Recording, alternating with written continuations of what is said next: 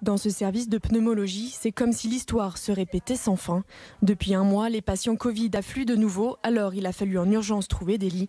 En tout, un tiers est désormais occupé par des malades du virus. Depuis euh, plusieurs semaines, effectivement, on a une augmentation euh, de l'afflux de patients euh, aux urgences de la Croix-Rousse pour Covid. Et du coup, les services d'aval ont des besoins, sont très sollicités.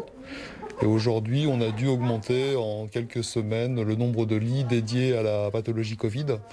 Et on a réouvert une unité entière en début de semaine, euh, en fin de semaine dernière, pardon, euh, pour s'occuper de ce type de patients. Pour le personnel soignant, la situation aujourd'hui est identique à celle du milieu de la première vague. Mais après presque un an à essayer de faire face, les corps et les esprits sont fatigués. Le moral, il est euh, ben, pas au beau fixe et surtout, c'est un ras-le-bol général et pas de projection dans l'avenir. Donc c'est très difficile de gérer puisqu'elle n'arrive pas du tout à, à, se projeter et puis à, se voir continuer, pour certaines même dans la profession. On n'a pas eu le temps de récupérer et puis euh, c'est toujours et toujours quoi. Le moteur s'emballe. Pour tous, cela ne fait aucun doute. La troisième vague a bel et bien commencé.